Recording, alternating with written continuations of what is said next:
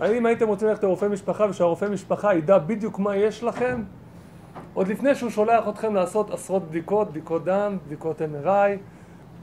אז מטופלים רבים תמיד אה, באמת באים אליי ומופתעים לראות שאני מכיר את הדפוסי התנהגות שלהם עוד לפני שהם אה, בכלל מדברים איתי, זאת אומרת אני ממש מאבחן אותם, אני עושה אבחונים, האבחון הוא אבחון סיני, למדתי גם רפואה סינית במקביל לנטורופתיה והאבחון בעצם זה אבחון דופק ולשון, האבחון דופק ולשון בעצם ממפה את האיברים בכל הגוף ואת הרגשות ואפשר לראות גם על פי הלשון שהיא מחוברת לגזע המוח איזה תסמינים יש לבן אדם מכולסטרול וכבד שומני עד לא עלינו למחלות קשות כאלה ואחרות וגם לא לבעיות, אנשים באים לעשות אבחונים בשביל הכיף גם.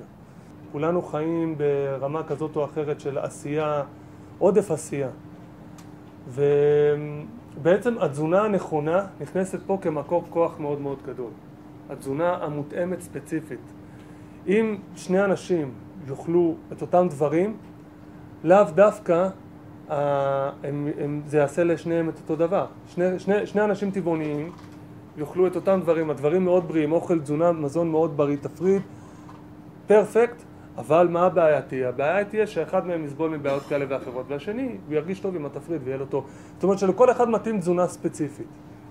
וזה משהו שהוא מאוד מאוד חשוב החוויה שלי היא להעביר לבן אדם לא עד מה הבעיות שלו, אני לא מחפש לבן אדם מה הבעיות, אני מחפש בבן אדם להראות לו מה טוב לו כדי להרגיש יותר well-being, זה הכל.